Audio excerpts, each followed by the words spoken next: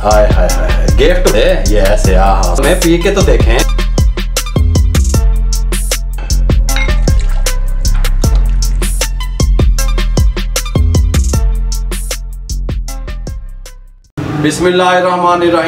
वालेकुम मैं हूँ शेफ रिजवान। आप देख रहे हैं बाबा food R R C. Commercial जो यखनी है, किस तरीके से आप बना के सेल कर सकते हैं, उसकी रेसिपी पहले मैंने आपको दी। लाखों लोगों ने पसंद किया। मैं अपनी टीम से कहूँगा, उसका लिंक डिस्क्रिप्शन में भी दे देंगे, आई बटन में भी दे देंगे। खवतिन की कॉल्स आ रही थी, मैसेज आ रहे थे कि देसी मुर्ग की यखनी, घर में आप किस तरीके से तैयार कर सकते हैं, मुकम्मल गाइड करने वाला हूँ। तवज्जो से देखिएगा।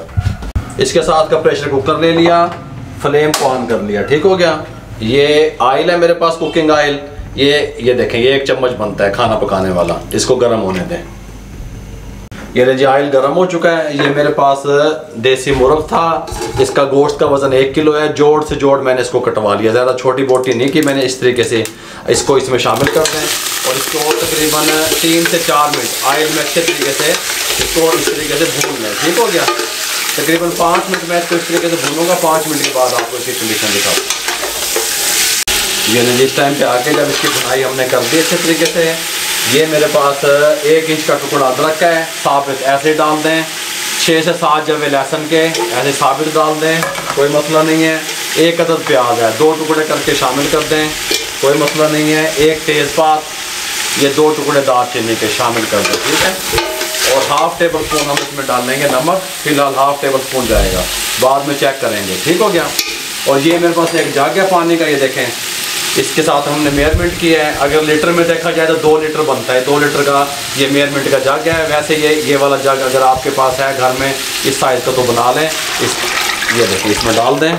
इस तरीके से। और इसको ऊपर से कवर लगा दें। और 25 मिनट के लिए इसको छोड़ दें। 25 मिनट के बाद मिलते हैं। जो फ्लेम है वो हम दम वाली कर देंगे। पहले तीन मिनट फ्लेम हाई रखेंगे, तीन मिनट के बाद विसल चलेगी, फिर 25 मिनट दम वाली फ्लेम पे इसको हम छोड़ देंगे। ये ले जी, हमारा टाइम पूरा हो गया, कुकर को खोलने लगे हैं। कमाल की खुशबुएँ कमाल के चस्के। ये थोड़ा सा इसको ऐसे घुमा लें, नमक चेक कर लो। थोड़ा सा नमक कम लग रहा है। वन टीस्पून नमक का और डालने लगे हैं, इसमें शामिल कर दें और इसको इस तरह हिला लें। ठीक हो गया? इसके साथ का एक्सटेनर ले लिया मैंने, नीचे पतीली ले ली, इसके अंदर हम इसको शिफ्ट करने लगे हैं।